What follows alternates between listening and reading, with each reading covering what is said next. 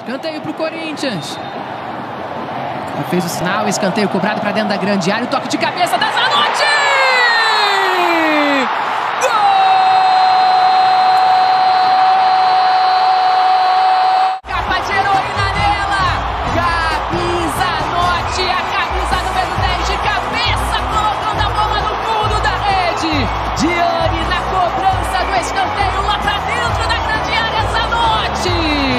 No canto esquerdo da Lorena.